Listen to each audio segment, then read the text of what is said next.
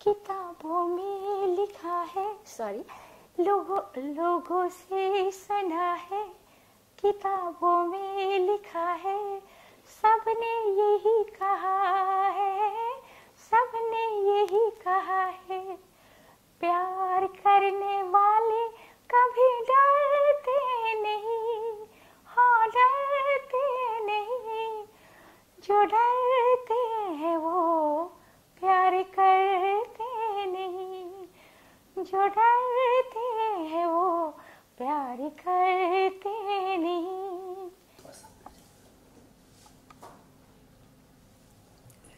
Sir साथ में आप तेरी मेरी तेरी मेरी तेरी मेरी कहानी तेरी ही मेरी ही तेरी मेरी तेरी मेरी ही कहानी कभी उड़ती महक कभी गीली फिजा कभी पाक दुआ कभी धूप कड़क कभी छाँव नरम कभी सर्द हवा। तेरी मेरी तेरी मेरी तेरी मेरी कहानी। ठीक है सर बहुत thank you thank you sir thank you brother thank you sir Ajay sorry मैं लेकिन मैं के नहीं जान दीजिए मुझे आपके क्वेश्चन है सर सबसे पहले तो कॉन्ग्रेचुलेशन कहना चाहूँगा सॉन्ग के लिए फ़िल्म के लिए। क्या क्या सोचे थे? इतना रिस्पांस इतना अच्छा रिस्पांस सोचे थे? देखिए मैं बहुत आभारी हूँ आप लोगों का कि ग्लोबली पूरे वर्ल्ड का नंबर वन गाना। सिनोरिटा को भी बीट करके पिछले हफ़्ते तेरी मेरी कहानी नंबर वन हो गया है। वो आप लोगों के प्यार की वजह से हुआ है। इतना प्यार जो आप लोगों ने हैप्पी हार्डी हीर को, तेरी मेरी कहानी को, रानू जी को, मुझको, वो दिया है, वो कहीं ना कहीं बस एक आशीर्वाद है आप लोगों का।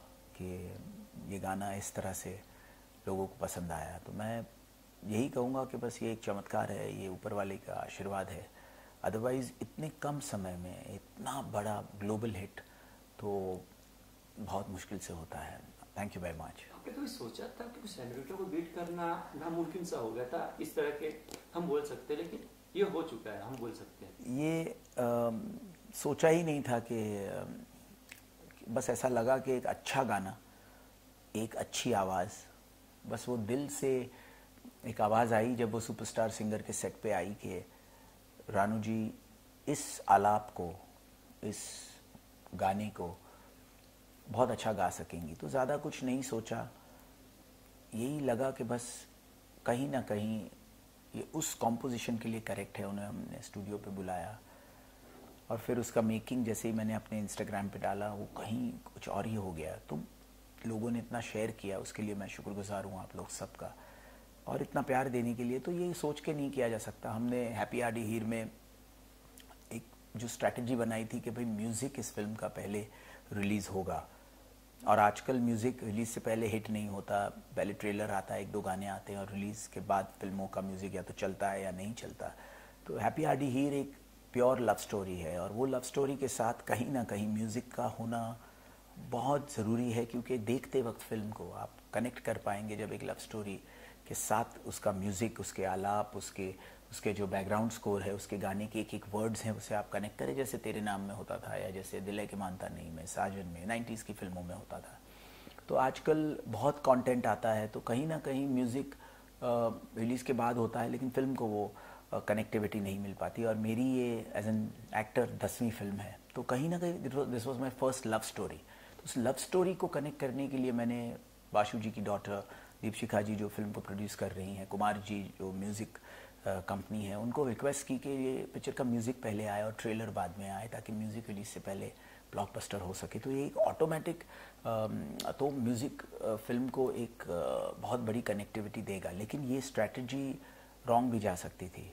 कहीं ना कहीं। तो वो मैं बहुत शुक्रगुजार हूँ आप लोगों का कि ये अपने आप में जो रिस्क हमने लिया कि म्यूज़िक पहले आएगा फ़िल्म से वो इतना बड़ा हिट रिलीज़ से पहले शायद ही किसी फ़िल्म का हुआ होगा। पिछली बार आशिकी का हुआ था बहुत साल पहले चार पाँच साल पहले।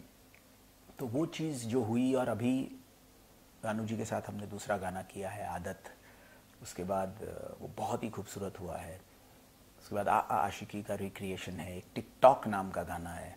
जो बहुत ही ज़बरदस्त गाना है और उसके बाद एक गाना है हमारा, कह रही है नज़दीकियाँ फासले हैं अभी दरमिया।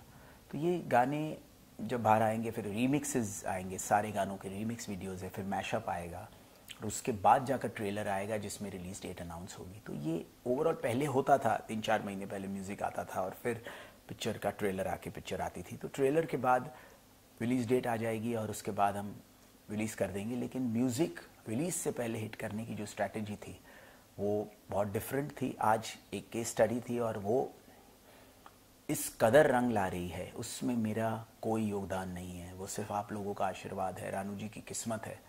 एक लोगों का जो आशीर्वाद है और- मेरी पूरी टीम का सपोर्ट है जिन्हें मुझे जिस तरह से मुझे ये स्ट्रैटेजी को इम्प्लीमेंट करने दिया। एंड आप लोगों का प्यार है कि इस, इसके म्यूज़िक को इतना ग्लोबली हिट बना दिया। अब इस फ़िल्म को देखने का जो लव स्टोरी का कनेक्ट होगा, वो बहुत अच्छा होगा बिकॉज़ ये फ़िल्म एज एन एक्टर मेरी वो कोशिश है कि एज एन एक्टर आपको बहुत बड़ा री इन्वेंशन मिले हिमेश एज एन एक्टर मेरी दसवीं फ़िल्म है एज एन एक्टर और मैं वो फ्राइडे की तलाश में हूँ जो हर एक्टर की ज़िंदगी में एक वक्त आता है, मेरी जंजीर या मेरी Kabir Singh. Happy R D Heer हो ये मैं दुआ करता हूँ क्योंकि उतनी मेहनत हुई है। एक री है, जो कंप्लीट ट्रांसफॉर्मेशन है। मेरी दस फ़िल्में एज एन एक्टर में दो तीन फ़िल्में चली है but on as an actor I am at ground zero level. And if I want to come there, I have to work very hard, and which we've tried to. तो एक तीन बजे जब फ़िल्म रिलीज़ होगी तो आपको एक बहुत नया कनेक्ट मिलेगा इस फ़िल्म में। एक नया हिमेश मिलेगा इन टर्म्स ऑफ़ परफॉर्मेंस और एक बहुत ही खूबसूरत लव स्टोरी मिलेगी जिससे आप कनेक्ट कर सकेंगे। और मैं जैसे मैं हमेशा कहता हूँ हर इंसान ने कभी ना कभी किसी न किसी से प्यार किया है। तो वही प्यार की दास्तान तेरी मेरी कहानी के ज़रिए सारे गानों के ज़रिए हैप्पी आरडी हीर में आपको नज़र आएगी।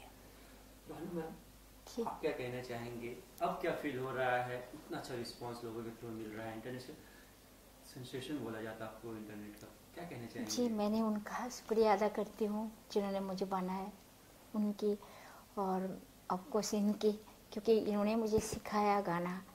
तभी मैं गा पाई। जो नया गाना उन्होंने सिखाया नया गाना तो मैं जानती नहीं थी मगर उन्होंने सिखाया तभी मैं गा सकी। और पहला गाना इन्होंने तीन से तीन से चार घंटे में पहले गा लिया।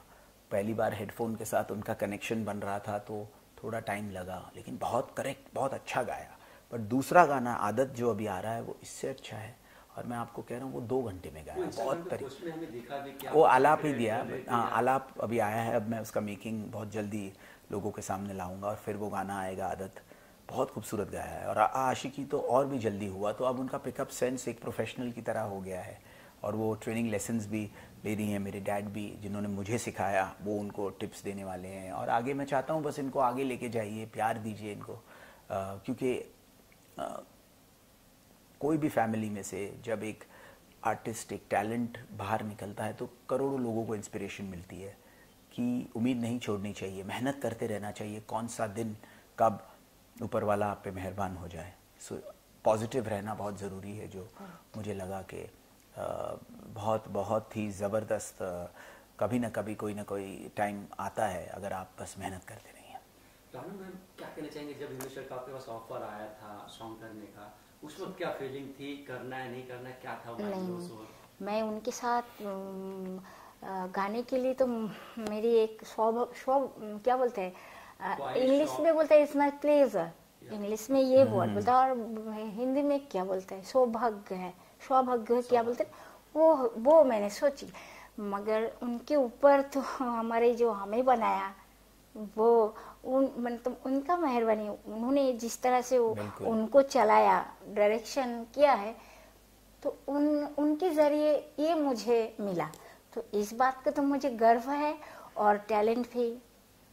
और वो सब ऊपर वाले का करिश्मा है सचमुच। जो पूरा जब मैं तेरी मेरी कहानी के लिए इस हैप्पी आर्डीर में एक लव स्टोरी के लिए जो गाना ढूंढ रहा था वो कॉम्पोजिशन के तौर पे था ड्यूएट के तौर पे मैंने गाया था लेकिन जो आलाप में मुझे एक नई आवाज़ चाहिए थी वो उसी मोमेंट पे जब टाइम हो गया था रिलीज़ का तब सुपरस्टार सिंगर में मैं जब जज कर रहा हूँ और सामने वो आती है और वो एक प्यार का नगमा गाती है और मुझे लगता है कि बिल्कुल ये करेक्ट है तेरी मेरी कहानी के लिए और तेरी मेरी कहानी इस लेवल पे नंबर वन हो जाता है कुछ ही दिनों में ये तो ये बिल्कुल सिर्फ़ चमत्कार है। ये हमने कुछ नहीं किया बहुत बहुत ही पावरफुल मीडियम है। सोशल मीडिया बहुत ही you know life changing experience कर सकता है। बस आपकी नीयत सही होनी चाहिए। और नीयत में बरकत है मैं ये हमेशा मानता हूँ। तो उसमें डेफिनेटली बहुत ज़्यादा आप लोगों का योगदान है जिन्होंने ग्लोबली एक ही साथ में कुछ ही घंटों में इसको कहाँ से कहाँ पहुँचा दिया। तो मैं बहुत दिल से शुक्रगुजार हूँ।